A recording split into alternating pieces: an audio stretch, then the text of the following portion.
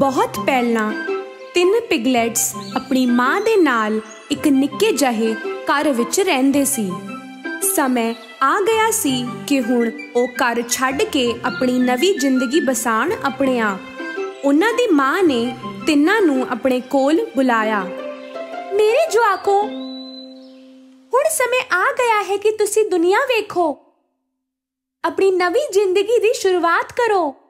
ਭੁੱਲਣਾ ਨਾ। ਤੁਸੀਂ ਚਾਹੇ ਜੋ ਵੀ ਕਰੋ, ਉਹਨੂੰ ਪੂਰਾ ਜੀ ਲਾ ਕੇ ਕਰਨਾ। ਜ਼ਿੰਦਗੀ ਜੀਣ ਦਾ ਇਹ ਸਭ ਤੋਂ ਸਹੀ ਤਰੀਕਾ ਹੈ।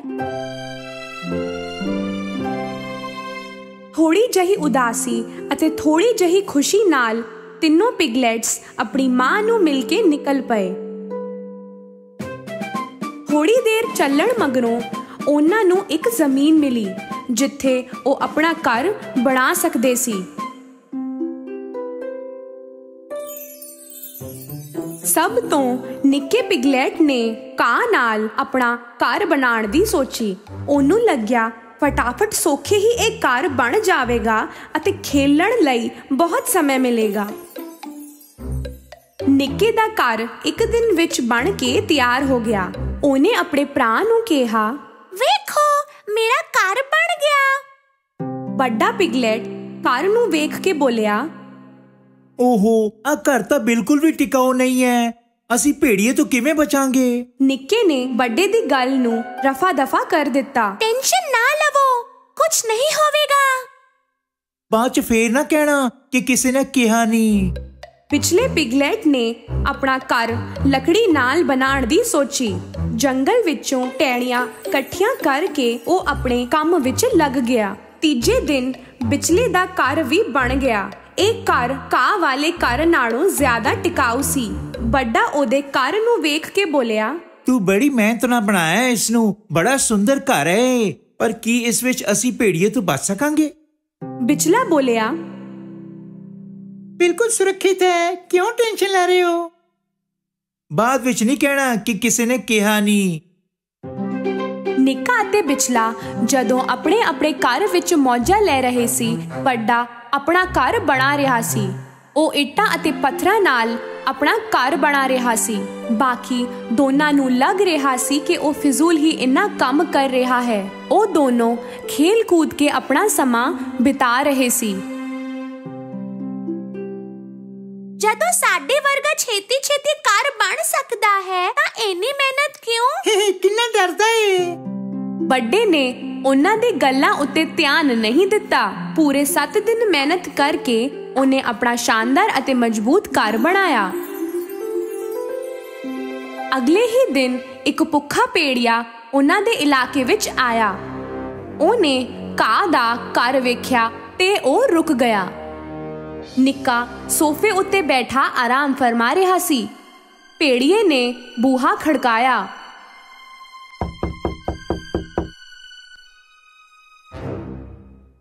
दरवाजा खोलो मैं अंदर आना है नहीं खोलोगे तो दो चार फूक मार के घर उड़ा दियांगा ਤੁਸੀਂ ਕੁਝ ਨਹੀਂ ਕਰ ਸਕਦੇ ਮੇਰਾ ਘਰ ਬਹੁਤ ਮਜ਼ਬੂਤ ਹੈ ਪੇੜੀਏ ਨੇ ਜ਼ੋਰ ਨਾਲ ਆਪਣੇ ਮੂੰਹ ਵਿੱਚੋਂ ਸਾਹ ਛੱਡਿਆ ਅਤੇ ਘਰ ਟੁੱਟ ਗਿਆ ਨਿੱਕਾ ਜੀਵੇ ਤੀਵੇ ਭੱਜ ਕੇ ਨਿਕਲ ਗਿਆ ਅਤੇ ਭੱਜਦਾ ਹੋਇਆ ਬਿਚਲੇ ਦੇ ਲੱਕੜੀ ਵਾਲੇ ਘਰ ਪਹੁੰਚ ਗਿਆ। ਉਹਦੇ ਬੂਹਾ ਖੜਕਾਉਂਦੇ ਹੀ ਬਿਚਲੇ ਨੇ ਬੂਹਾ ਖੋਲ ਦਿੱਤਾ ਅਤੇ ਨਿੱਕਾ ਅੰਦਰ ਜਾ ਕੇ ਲੁਕ ਗਿਆ। ਛੇਤੀ ਬੰਦ ਕਰ ਬੂਹਾ ਭੇੜਿਆ ਆ ਜਾਵੇਗਾ। ਘਬਰਾ ਨਾ ਉਹ ਇਸ ਘਰ 'ਚ ਨਹੀਂ ਆ ਸਕਦਾ। ਉਸੇ ਵੇਲੇ ਭੇੜਿਆ ਉੱਥੇ ਪਹੁੰਚਿਆ ਅਤੇ ਆਵਾਜ਼ ਮਾਰੀ। ਦਰਵਾਜ਼ਾ ਖੋਲੋ ਮੈਂ ਅੰਦਰ ਆਣਾ ਹੈ। ਨਹੀਂ ਖੋਲੋਗੇ ਤਾਂ ਦੋ ਚਾਰ ਫੂਕ ਮਾਰ ਕੇ ਘਰ ਤੋੜ ਦੇਵਾਂਗਾ ਕੁਝ ਨਹੀਂ ਕਰ ਸਕਦਾ ਤੂੰ। ਪੇੜੀਏ ਨੇ ਜ਼ੋਰ ਨਾਲ ਆਪਣੇ ਮੂੰਹ ਵਿੱਚੋਂ ਸਾਹ ਛੱਡਿਆ ਅਤੇ ਘਰ ਟੁੱਟ ਗਿਆ। ਜਿਵੇਂ ਤੀਵੇ ਦੋਨੋਂ ਭਰਾ ਭੱਜ ਕੇ ਵੱਡੇ ਦੇ ਘਰ ਪਹੁੰਚੇ। ਵੱਡੇ ਪੇੜੀਆ ਪਿੱਛੇ ਪਿਆ ਕੀ ਕਰੀਏ? ਵੱਡੇ ਨੇ ਉਹਨਾਂ ਨੂੰ ਪਰੋਸਾ ਦਿੱਤਾ। ਟੈਨਸ਼ਨ ਨਹੀਂ ਲੈਣੀ ਐਦਾਂ ਦਾ ਕੁਝ ਨਹੀਂ ਹੋਣਾ।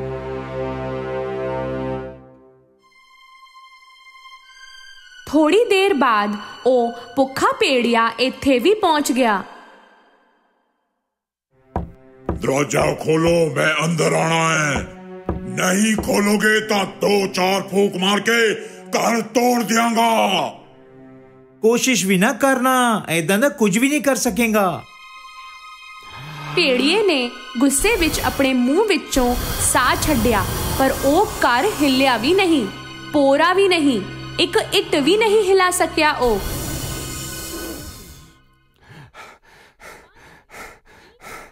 ਥੱਕ ਹਾਰ ਕੇ ਉਹਨੇ ਦੂਜੀ ਤਰਕੀਬ ਸੋਚੀ। ਘਰ ਦੇ ਉੱਤੇ ਇੱਕ ਚਿਮਨੀ ਸੀ। ਅਤੇ ਉਹ ਉਹਦੇ ਉੱਤੇ ਚੜਨ ਲੱਗ ਪਿਆ। ਉਹਨੂੰ ਚੜਦੇ ਹੋਏ ਵੇਖ ਕੇ ਉਹਨੂੰ ਅੰਦਰ ਆਉਣ ਤੋਂ ਰੋਕਣ ਵਾਸਤੇ ਵੱਡੇ ਨੇ ਫਾਇਰਪਲੇਸ ਵਿੱਚ ਅੱਗ ਬਾਲ ਦਿੱਤੀ ਅਤੇ ਇੱਕ ਪਾਣੀ ਦਾ ਭਾਂਡਾ ਉਹਦੇ ਉੱਤੇ ਰੱਖ ਦਿੱਤਾ। ਭੇੜੀਆ ਚਿਮਨੀ ਦੇ ਉੱਤੇ ਪਹੁੰਚਦੇ ਹੀ ਚਿਮਨੀ ਦੇ ਅੰਦਰ ਉਤਰਨ ਲੱਗ ਪਿਆ ਅਤੇ ਸਿੱਧਾ ਉਬਲਦੇ ਹੋਏ ਪਾਣੀ ਵਿੱਚ ਡਿੱਗਿਆ हाय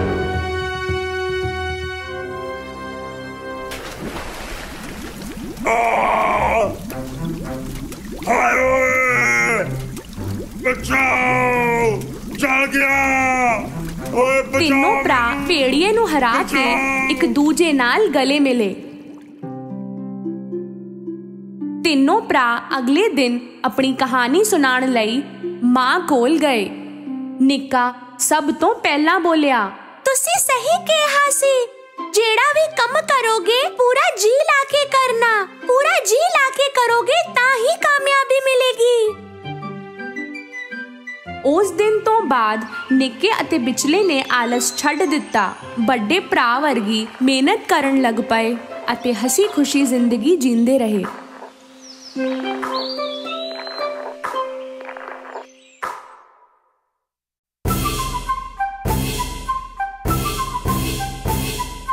ਬਹੁਤ ਪਹਿਲਾਂ ਇੱਕ ਕੁੜੀ ਸੀ ਹਾਈਡੀ।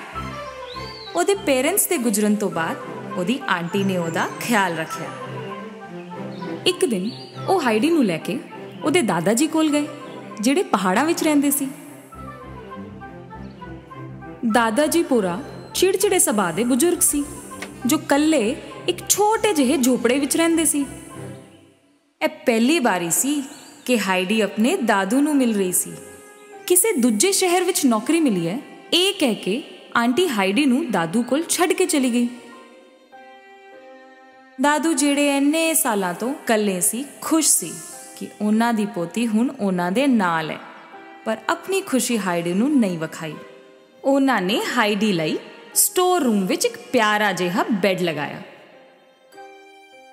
ਹਾਈਡੀ ਨੂੰ ਦਾਦੂ ਬੜੇ ਪਸੰਦ ਆਏ।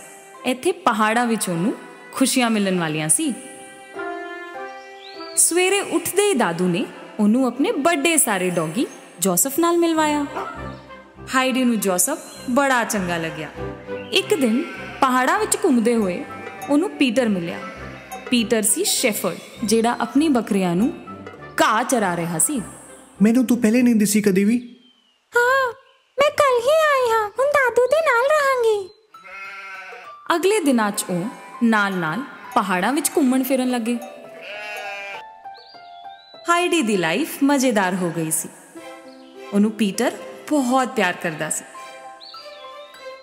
ਉਹਨੇ ਉਹਨੂੰ ਸ਼ੈਫਰਡ ਬੰਨਾ ਵੀ ਸਿਖਾਇਆ।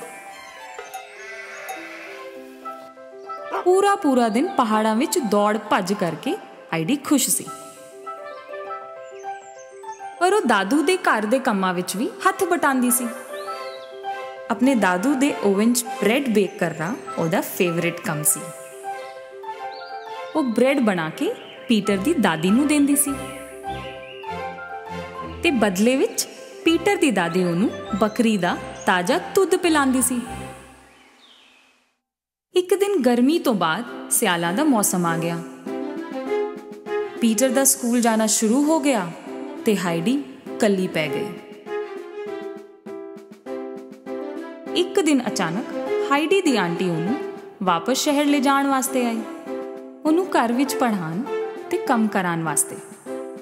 ਦਾਦੂ ਨੂੰ ਇਹ ਸੁਣ ਕੇ ਬੜਾ ਬੁਰਾ ਲੱਗਿਆ ਤੇ ਉਹ ਮੰਨੇ ਨਹੀਂ ਪਰ ਜ਼ਰਾ ਸੋਚਣ ਤੇ ਉਹਨਾਂ ਨੂੰ ਲੱਗਿਆ ਕਿ ਹਾਈਡੀ ਦੇ ਵਾਸਤੇ ਇਹ ਹੀ ਚੰਗਾ ਰਹੇਗਾ ਕਿ ਉਹ ਸ਼ਹਿਰ ਜਾ ਕੇ ਪੜ੍ਹਾਈ ਲਿਖਾਈ ਕਰੇ ਮੈਨੂੰ ਇੱਥੋਂ ਨਹੀਂ ਜਾਣਾ ਮੈਨੂੰ ਦਾਦੂ ਦੇ ਕੋਲ ਹੀ ਰਹਿਣਾ ਹੈ ਆਂਟੀ ਦੇ ਇਹ ਕਹਿਣ ਕਰਕੇ ਕਿ ਉਹ ਕੁਝ ਹੀ ਦਿਨਾਂ ਬਾਅਦ ਉਹਨੂੰ ਇੱਥੇ ਵਾਪਸ ਲੈ ਆਵੇਗੀ ਹਾਈਡੀ ਮੰਨ ਗਈ ਟ੍ਰੇਨ ਵਿੱਚ ਲੰਬਾ ਸਫ਼ਰ ਤੈਅ ਕਰਕੇ ਉਹ ਇੱਕ ਮਹਿਲ ਵਰਗੇ ਘਰ ਵਿੱਚ ਪਹੁੰਚੇ। ਇੰਨਾ ਵੱਡਾ ਘਰ? ਮੈਂ ਕਿ ਇਸ ਘਰ 'ਚ ਰਹਿਣ ਵਾਲੀ ਆ? ਹਾਈਡੀ ਘਰ ਦੀ ਪਿਆਰੀ ਕਲਾਰਾ ਨੂੰ ਮਿਲੀ। ਕਲਾਰਾ ਤੁਰ ਨਹੀਂ ਸਕਦੀ ਸੀ, ਕਿਉਂਕਿ ਉਹਦਾ ਐਕਸੀਡੈਂਟ ਹੋਇਆ ਸੀ। ਆਂਟੀ ਹਾਈਡੀ ਨੂੰ ਇੱਥੇ ਲੈ ਕੇ ਆਈ ਸੀ ਤਾਂ ਕਿ ਕਲਾਰਾ ਨੂੰ ਇੱਕ ਦੋਸਤ ਮਿਲ ਜਾਵੇ। ਇਹ ਦੋਨੋਂ ਪਰੀਆਂ ਬਹੁਤ ਜਲਦੀ ਬੈਸਟ ਫਰੈਂਡਸ ਬਣ ਗਈਆਂ। ਹਾਈਡੀ ਦੇ ਢੰਗ ਵੱਖਰੇ ਸੀ। ਤੇ ਕਲਾਰਾ ਉਹਦੀ ਗਲਤੀਆਂ ਦੇ ਖੂਬ ਮਜ਼ੇ ਲੈਂਦੀ ਸੀ। ਕਲਾਰਾ ਦੀ ਦਾਦੀ ਬੜੀ ਡਾਡੀ ਸੀ।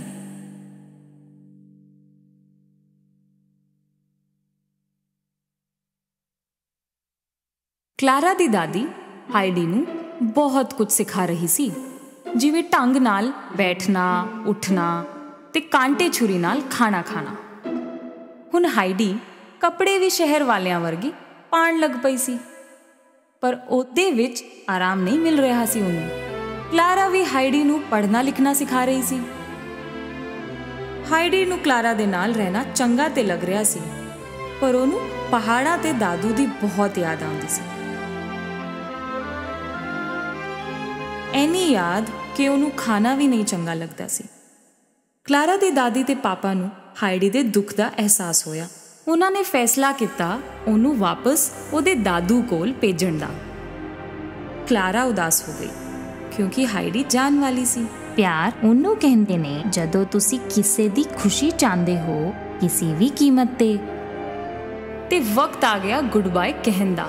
ਹਾਈਡੀ ਦੀ ਆਂਟੀ ਨੇ ਕਿਹਾ ਕਿ ਕਲਾਰਾ ਉਹਨੂੰ ਮਿਲਣ ਅਗਲੇ ਸਾਲ ਪਹਾੜਾਂ ਵਿੱਚ ਆਵੇਗੀ। ਪਹਾੜਾਂ ਵਿੱਚ ਆਂਦੇ ਹੀ ਜਿਵੇਂ ਉਹਨੂੰ ਜ਼ਿੰਦਗੀ ਵਾਪਸ ਮਿਲ ਗਈ। ਉਹ ਰਸਤੇ ਵਿੱਚ ਪੀਟਰ ਦੇ ਘਰ ਗਈ ਤੇ ਉਹਦੀ ਦਾਦੀ ਨੂੰ ਕਲਾਰਾ ਦਾ ਦਿੱਤਾ ਹੋਇਆ ਬ੍ਰੈਡ ਦਿੱਤਾ।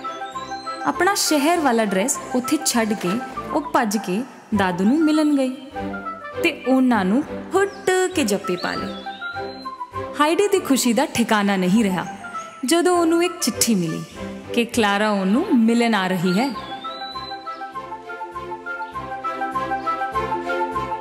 ਕਲਾਰਾ ਨੂੰ ਪਹਾੜ ਤੇ ਪੀਟਰ ਦੋਨੋਂ ਪਸੰਦ ਆਏ। ਪਰ ਪੀਟਰ ਜਰਾ ਅਨਮਨਾ ਜਿਹਾ ਸੀ, ਕਿਉਂਕਿ ਉਹਨੂੰ ਲੱਗ ਰਿਹਾ ਸੀ ਕਿ ਕਲਾਰਾ ਹਾਈਡੀ ਨੂੰ ਆਪਣੇ ਨਾਲ ਫੇਰ ਸ਼ਹਿਰ ਲੈ ਜਾਵੇਗੀ। ਇਹ ਤਿੰਨੋਂ ਮਿਲ ਕੇ ਬਹੁਤ ਮौज ਮਸਤੀ ਕਰ ਰਹੇ ਸੀ। ਪਹਾੜਾਂ ਦੀ ਤਾਜੀ ਹਵਾ, ਫਲ, ਸਬਜੀ ਕਲਾਰਾ ਦੀ ਸਿਹਤ ਵਾਸਤੇ ਬਹੁਤ ਚੰਗੇ ਸੀ।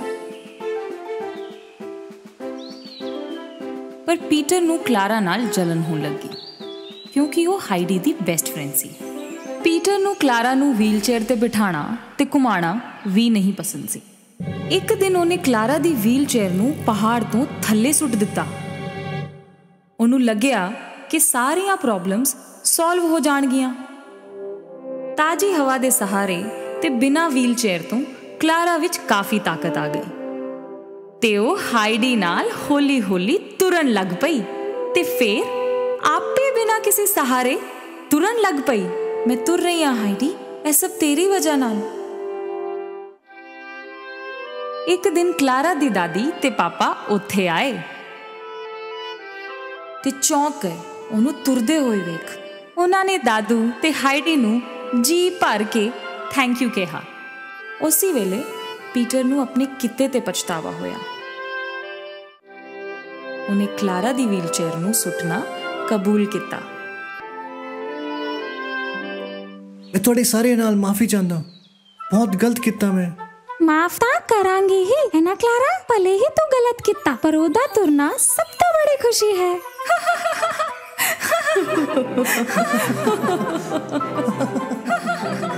ਸਭ ਖੁਸ਼ੀ ਨਾਲ ਹੱਸ ਪਏ।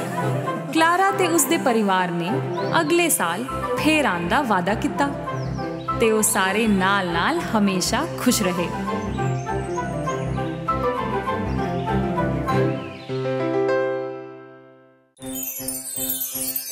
ਸਾਡੀ ਪਿਆਰੀ ਜਲਪਰੀ ਡੂੰਘੇ ਮਹਾਸਾਗਰਾਂ ਵਿੱਚ ਬਹੁਤ ਕੁਝ ਲੁਕਿਆ ਸੀ ਜਿਹਦੇ ਬਾਰੇ ਵਿੱਚ ਕੋਈ ਨਹੀਂ ਜਾਣਦਾ ਸੀ ਵੱਡੀਆਂ ਵੱਡੀਆਂ ਵੇਲਸ ਸ਼ਰਾਰਤੀ ਹੋਈਆਂ ਡਾਲਫਿਨਸ ਅਤੇ ਰੇਨਬੋ ਦੇ ਹਰ ਕਲਰ ਦੀਆਂ ਮੱਛੀਆਂ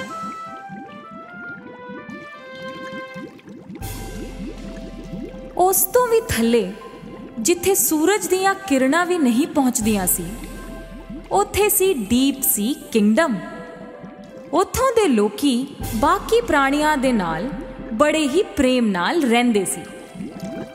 ਉਥੋਂ ਦੇ ਬਾਦਸ਼ਾਹ ਆਪਣੀ ਮਾਂ ਅਤੇ ਛੇ ਧੀਆਂ ਨਾਲ ਰਹਿੰਦੇ ਸੀ ਅਤੇ ਸਮੁੰਦਰਾਂ ਤੇ ਰਾਜ ਕਰਦੇ ਸੀ।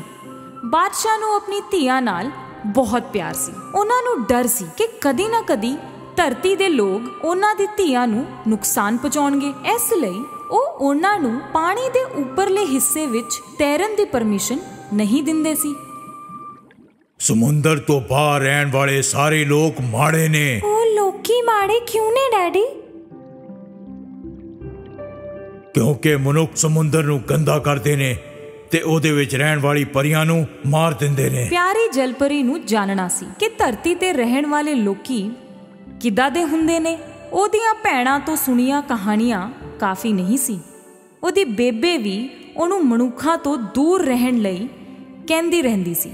ਉਹ ਸਮੁੰਦਰ ਦੇ ਗੇਟ ਤੋਂ ਬਾਹਰ ਤਾਂ ਹੀ ਜਾ ਸਕਦੀ ਸੀ ਜਦੋਂ ਉਹ ਰਾਜਕੁਮਾਰੀ ਬਣ ਜਾਵੇ ਅਤੇ ਆਪਣੀ ਭੈਣਾਂ ਜਿੰਨੀ ਵੱਡੀ ਹੋ ਜਾਵੇ।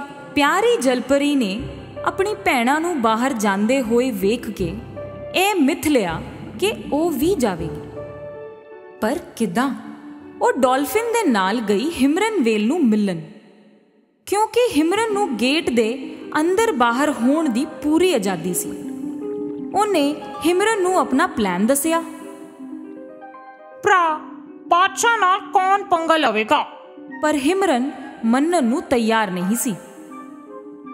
ਪਰ ਫੇਰ ਉਹਨੂੰ ਉਹਦੇ ਹਾਲਾਤ ਤੇ ਤਰਸ ਆ ਗਿਆ ਅਤੇ ਉਹਦੀ ਮਦਦ ਕਰਨ ਲਈ ਤਿਆਰ ਹੋ ਗਿਆ। ਹਿਮਰਨ ਅਤੇ ਡਾਲਫਿਨ ਸੀ ਗੇਟ ਤੇ ਗਏ। ਉਹਨਾਂ ਨੂੰ ਵੇਖ ਕੇ ਗਾਰਡ ਨੇ ਉਹਨਾਂ ਨੂੰ ਜਾਣ ਦਿੱਤਾ, ਬਿਨਾਂ ਕਿਸੇ ਸਵਾਲ ਦੇ। ਉੱਥੋਂ ਕਾਫੀ ਦੂਰ ਜਾ ਕੇ ਹਿਮਰਨ ਨੇ ਆਪਣਾ ਵੱਡਾ ਸਾਰਾ ਮੂੰਹ ਖੋਲਿਆ ਅਤੇ ਅੰਦਰੋਂ ਨਿਕਲੀ ਸਾਡੀ ਪਿਆਰੀ ਜਲਪਰੀ ਏਰੀਅਲ।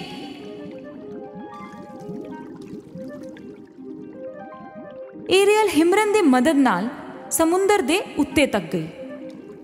ਉਹਨੇ ਪਹਿਲੀ ਵਾਰੀ ਹਵਾ ਨੂੰ ਮਹਿਸੂਸ ਕੀਤਾ ਅਤੇ ਨੀਲਾ ਅਸਮਾਨ ਪਹਿਲੀ ਵਾਰੀ ਵੇਖਿਆ। ਕਿੰਨਾ ਚੰਗਾ ਹੈ! ਉਸੇ ਘੜੀ ਏਰੀਅਲ ਨੂੰ 뮤직 ਸੁਣਾਈ ਦਿੱਤਾ। ਕਿੱਥੋਂ ਆ ਰਹੀ ਸੀ ਇਹ ਧੁਨ? ਉਹਨੇ ਵੇਖਿਆ ਕੋਲ ਹੀ ਇੱਕ ਸ਼ਿਪ ਸੀ। ਉਹਨੇ ਪਹਿਲੀ ਵਾਰੀ ਇੱਕ ਸ਼ਿਪ ਨੂੰ ਵੇਖਿਆ ਸੀ। ਇਹਨੂੰ ਸ਼ਿਪ ਕਹਿੰਦੇ ਨੇ ਨਾ। ਚਲੋ ਚਲਿਏ। ਡਾਲਫਿਨ ਉਹਨੂੰ ਕਹਿੰਦਾ ਰਿਹਾ ਨਾ ਜਾਣ ਵਾਸਤੇ ਪਰ ਉਹ ਦੂਰ ਨਿਕਲ ਚੁੱਕੀ ਸੀ। ਛੇਤੀ ਛੇਤੀ ਜਾ ਰਹੀ ਸੀ ਸ਼ਿਪ ਵੱਲ ਇਹ ਸ਼ਿਪ ਕਿਸੇ ਬਾਦਸ਼ਾਹ ਦੀ ਸੀ। ਉਹ ਆਪਣੇ ਪੁੱਤਰ ਪ੍ਰਿੰਸ ਐਰਿਕ ਦਾ ਬਰਥਡੇ ਸੈਲੀਬ੍ਰੇਟ ਕਰ ਰਹੀ ਸੀ। ਉਹ ਆਪਣੇ ਪੁੱਤਰ ਦਾ ਵਿਆਹ ਛੇਤੀ ਤੋਂ ਛੇਤੀ ਕਰਨਾ ਚਾਹੁੰਦੇ ਸੀ। ਤਾਂ ਹੀ ਤਾਂ ਸਾਰੀਆਂ ਸਿੰਗਲ ਪ੍ਰਿੰਸੈਸਸ ਨੂੰ ਇਸ ਪਾਰਟੀ ਵਿੱਚ ਸੱਦਿਆ ਗਿਆ ਸੀ। ਇਹ ਤਾਂ ਪ੍ਰਿੰਸ ਹੈ। ਤੇ ਮਨੁੱਖ ਵੀ। ਡਾਲਫਿਨ ਨੇ ਫੇਰ ਵਾਰਨਿੰਗ ਦਿੱਤੀ। ਏਰੀਅਲ ਨੇ ਪ੍ਰਿੰਸ ਦੀ ਧੁਨ ਉੱਤੇ ਬੜਾ ਸੋਹਣਾ ਗਾਇਆ।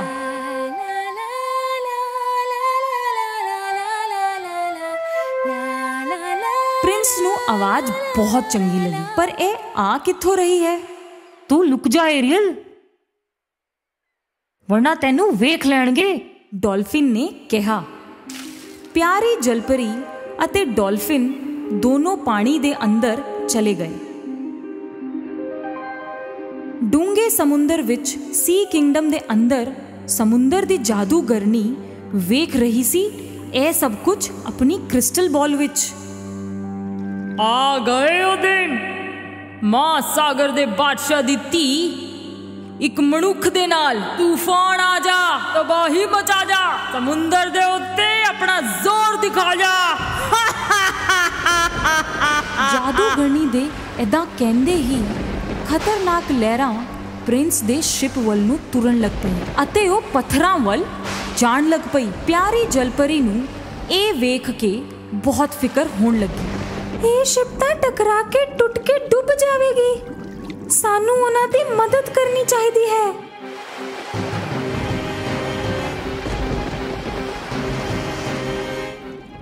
ਪਿਆਰੀ ਜਲਪਰੀ ਨੂੰ ਡੁੱਬਦੇ ਹੋਏ ਸ਼ਿਪ ਦੇ ਕੋਲ ਤੈਰਦਾ ਹੋਇਆ ਪ੍ਰਿੰਸ ਦਾ ਫਲੂਟ ਮਿਲਿਆ ਤੇ ਫੇਰ ਦਿਸਿਆ ਡੁੱਬਦਾ ਹੋਇਆ ਪ੍ਰਿੰਸ। ਉਹ ਉਹਨੂੰ ਹੱਥਾਂ ਨਾਲ ਖਿੱਚ ਕੇ ਤੈਰਦੇ ਹੋਏ ਸੀ ਸ਼ੋਰ ਤੱਕ ਲੈ ਆਂਦੀ ਹੈ। ਉੱਠ ਜਾਓ ਪਲੀਜ਼ ਉੱਠ ਜਾਓ। ਪ੍ਰਿੰਸ ਨੂੰ ਹੋਸ਼ ਆਂਦਾ ਹੈ ਤੇ ਉਹ ਹੌਲੀ-ਹੌਲੀ ਆਪਣੀਆਂ ਅੱਖਾਂ ਖੋਲਦਾ ਹੈ। ਤੁਸੀਂ ਜਿੰਦਾ ਹੋ। ਪਿਆਰੀ ਜਲਪਰੀ ਨੇ ਖੁਸ਼ ਹੋ ਕੇ ਕਿਹਾ।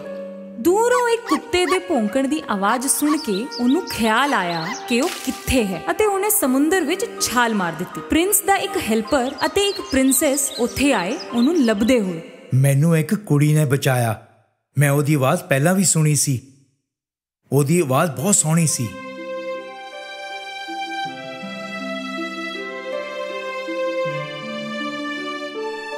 ਪਿਆਰੀ ਜਲਪਰੀ ਵਾਪਸ ਡੀਪ ਸੀ ਕਿੰਗਡਮ ਵਿੱਚ ਆ ਚੁੱਕੀ ਸੀ। ਪ੍ਰਿੰਸ ਦਾ ਫਲੂਟ ਉਹਦੇ ਕੋਲ ਹੀ ਸੀ। ਉਹ ਉਹਨਾਂ ਦੇ ਬਾਰੇ ਹੀ ਸੋਚ ਰਹੀ ਸੀ। ਉਦੋਂ ਹੀ ਬਾਦਸ਼ਾਹ ਉੱਥੇ ਆਂਦੇ ਨੇ। ਅਤੇ ਫਲੂਟ ਨੂੰ ਵੇਖਦੇ ਨੇ। ਉਹਨਾਂ ਨੂੰ ਵੇਖਦੇ ਹੀ ਪਤਾ ਲੱਗ ਜਾਂਦਾ ਹੈ ਕਿ ਇਹ ਕਿਸੇ ਮਨੁੱਖ ਦੀ ਹੈ। ਸਾਡੇ ਕੁਝ ਨਿਯਮ ਨੇ ਅਤੇ ਸਭ ਨੂੰ ਉਹਨਾਂ ਦਾ ਪਾਲਣ ਕਰਨਾ ਚਾਹੀਦਾ ਹੈ। ਖਾਸ ਕਰ ਮੇਰੇ ਬੱਚਿਆਂ ਨੂੰ। ਕੀ ਇਹ ਸੱਚ ਹੈ ਕਿ ਤੂੰ ਕਿਸੇ ਮਨੁੱਖ ਨੂੰ ਡੁੱਬਣ ਤੋਂ ਬਚਾਇਆ? ਮੈਨੂੰ ਬਚਾਣਾ ਪਿਆ। ਨਹੀਂ ਤਾਂ ਪ੍ਰਿੰਸ ਉੱਥੇ ਹੀ ਮਰ ਜਾਂਦਾ। ਏਰੀਅਲ ਨੇ ਮੁੜ ਕੇ ਜਵਾਬ ਦਿੱਤਾ। ਬਸ ਕਰੋ ਮਨੁੱਖ ਚੰਗੇ ਨਹੀਂ ਹੁੰਦੇ। ਉਹਨਾਂ ਦੀ ਦੁਨੀਆ ਤੇ ਸਾਡੀ ਦੁਨੀਆ ਵਿੱਚ ਕੋਈ ਰਿਸ਼ਤਾ ਨਹੀਂ ਹੋ ਸਕਦਾ। ਗੁੱਸੇ ਨਾਲ ਲਾਲ ਬਾਦਸ਼ਾਹ ਦੇ ਜਾਣ ਪਿੱਛੋਂ ਏਰੀਅਲ ਨੇ ਮਿਥ ਲਿਆ ਕਿ ਹੁਣ ਤਾਂ ਕਰਨਾ ਹੀ ਹੈ।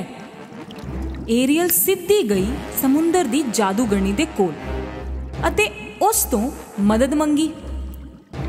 ਮਦਦ ਤਾਂ ਉਹ ਕਰ ਦੇਵੇਗੀ, ਪਰ ਬਦਲੇ ਵਿੱਚ ਉਹਨੂੰ ਆਪਣੀ ਫੀ ਚਾਹੀਦੀ ਹੈ, ਬਹੁਤ ਮਹਿੰਗੀ ਫੀ। ਮੈਂ ਇੱਕ ਦਵਾਈ ਬਣਾਵਾਂਗੀ। ਜਿਹੜੀ ਤੈਨੂੰ ਮਨੁੱਖ ਬਣਾ ਦੇਵੇਗੀ ਤੇਰੇ ਦੋ ਪੈਰ ਵੀ ਨਿਕਲ ਆਣਗੇ। ਬਦਲੇ ਵਿੱਚ ਮੈਨੂੰ ਚਾਹੀਦੀ ਹੈ ਤੇਰੀ ਆਵਾਜ਼। ਮੇਰੀ ਆਵਾਜ਼? ਪਰ ਕਿਉਂ? ਥੱਕ ਹਾਰ ਕੇ ਪਿਆਰੀ ਜਲਪਰੀ ਮੰਨ ਹੀ ਗਈ ਕਿਉਂਕਿ ਇਹ ਉਹਦੇ ਵਾਸਤੇ ਬਹੁਤ ਜ਼ਰੂਰੀ ਸੀ।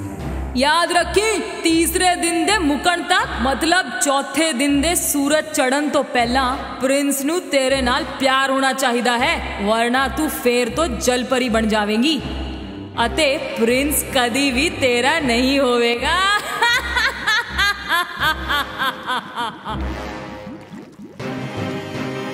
ਏਰੀਅਲ ਉਹ ਦਵਾਈ ਘੁੱਟ-ਘੁੱਟ ਕਰਕੇ ਪੀ ਗਈ। ਉਹ ਸਮੁੰਦਰ ਦੇ ਉੱਤੇ ਨੂੰ ਤੈਰ ਕੇ ਜਾਣ ਲੱਗੀ। ਹੌਲੀ-ਹੌਲੀ ਉਹਦੇ ਪੈਰ ਨਿਕਲ ਆਏ। ਬਿਲਕੁਲ ਮਨੁੱਖਾਂ ਵਰਗੇ। ਡਾਲਫਿਨ ਦੇ ਨਾਲ ਉਹ ਸੀ ਸ਼ੋਰ ਤੇ ਪਹੁੰਚੀ। ਉਹਦੇ ਉੱਥੇ ਆਂਦੇ ਹੀ ਪ੍ਰਿੰਸ ਦੀ ਨਜ਼ਰ ਉਹਦੇ ਉੱਤੇ ਪਈ ਤੇ ਉਹ ਉਹਦੇ ਕੋਲ ਆਇਆ।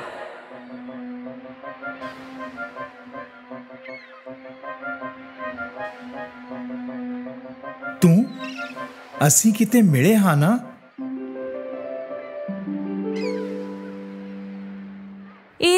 ਕੁਝ ਬੋਲ ਨਹੀਂ ਸਕਦੀ ਸੀ।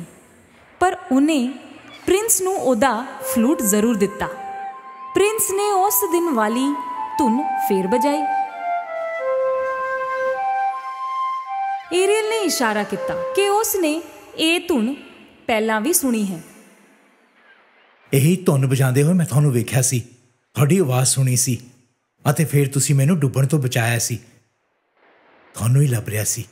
ਪ੍ਰਿੰਸ ਨੂੰ ਪੱਕਾ ਯਕੀਨ ਸੀ ਕਿ ਉਹ ਕੁੜੀ ਏਰੀਅਲ ਹੀ ਸੀ ਜਿਸ ਨੇ ਉਹਨੂੰ ਬਚਾਇਆ ਸੀ। ਪਰ ਉਹ ਕੁੜੀ ਤਾਂ ਇੱਕ ਜਲਪਰੀ ਸੀ। ਉਹਦੀ ਬੜੀ ਸੋਹਣੀ ਆਵਾਜ਼ ਸੀ। ਏਰੀਅਲ ਵਿਚਾਰੀ ਚਾਂਦੀ ਤਾਂ ਸੀ ਪਰ ਗੱਲ ਨਹੀਂ ਕਰ ਸਕੀ।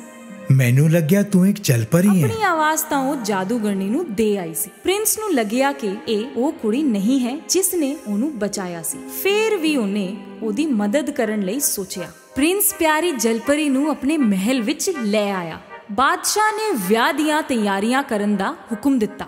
ਉਹ ਆਪਣੇ ਪੁੱਤਰ ਦਾ ਵਿਆਹ ਇੱਕ ਰਾਜਕੁਮਾਰੀ ਨਾਲ ਕਰਨ ਵਾਲਾ ਸੀ। ਵਿਚਾਰੀ ਪਿਆਰੀ ਜਲਪਰੀ ਹੁਣ ਚੁੱਪਚਾਪ ਵੇਖਣ ਤੋਂ ਇਲਾਵਾ ਕੁਝ ਕਰ ਵੀ ਨਹੀਂ ਸਕਦੀ ਸੀ।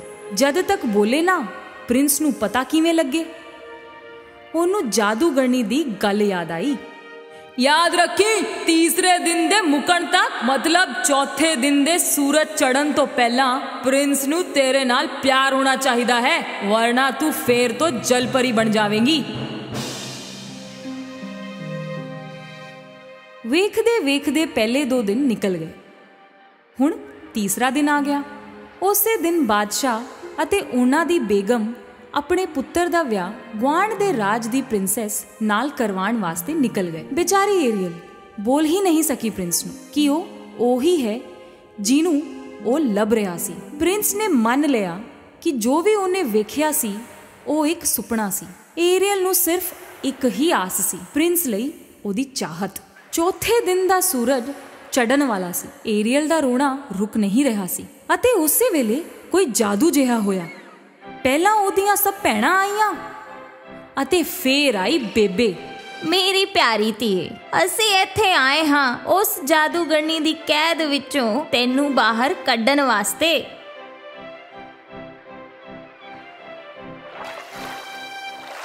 ਅਤੇ ਉਸੇ ਵੇਲੇ ਮਹਾਸਾਗਰ ਦੇ ਬਾਦਸ਼ਾਹ ਪ੍ਰਕਟ ਹੋਏ।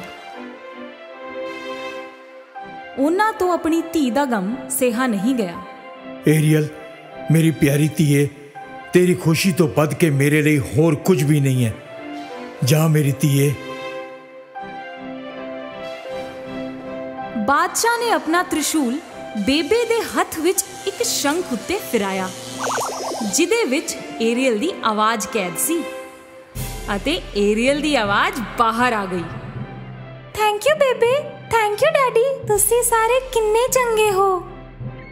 ਹਿਮਰਨ ਵੇਲ ਦੀ ਪਿੱਠ ਤੇ ਬਹਿ ਕੇ ਉਹ ਸਾਰੇ ਪ੍ਰਿੰਸ ਦੀ ਸ਼ਿਪ ਵੱਲ ਤੁਰ ਪਏ।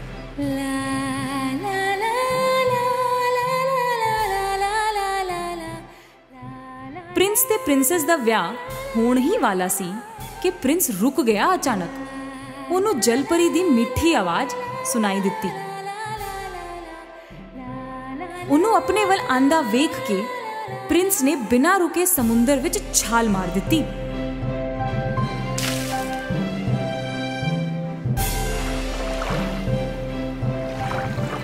ਮੈਂ ਜਾਣਦਾ ਸੀ, ਉਹ ਤੂੰ ਹੀ ਸੀ। ਆਪਣੇ ਦੋਸਤਾਂ ਅਤੇ ਆਪਣੇ ਪਰਿਵਾਰ ਦੀ ਮਦਦ ਨਾਲ ਏਰੀਅਲ ਨੂੰ ਉਹਦੀ ਆਵਾਜ਼ ਵਾਪਸ ਮਿਲ ਗਈ ਅਤੇ ਪ੍ਰਿੰਸ ਵੀ। ਪਰ ਹੁਣ ਉਹ ਜਲਪਰੀ ਨਹੀਂ ਸੀ। ਉਹ ਆਪਣੀ ਜ਼ਿੰਦਗੀ ਬਿਤਾਉਣ ਵਾਲੀ ਸੀ, ਮਨੁੱਖ ਬਣ ਕੇ। ਏਰੀਅਲ ਤੇ ਪ੍ਰਿੰਸ ਦੀ ਦੁਨੀਆ ਬਸੀ, ਦੋਸਤੀ, ਸ਼ਾਂਤੀ ਅਤੇ ਪ੍ਰੇਮ ਦੇ ਸੁਨੇਹੇ ਦੇ ਨਾਲ। ਸਮੁੰਦਰ ਅਤੇ ਧਰਤੀ ਤੇ ਵਿਚਕਾਰ।